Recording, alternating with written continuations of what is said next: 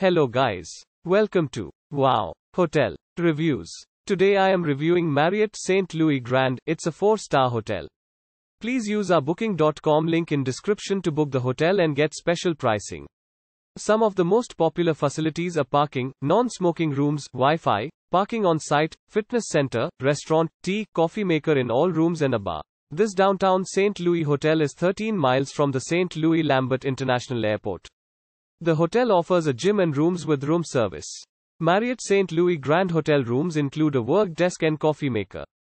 The rooms are equipped with pay-per-view movies and smart TVs with streaming movies and shows. Dining options at this hotel include Zenia Bar and Grill, which serves Midwestern cuisine. Guests at the Marriott St. Louis can get a drink at Zenia Bar or have coffee at the Starbucks.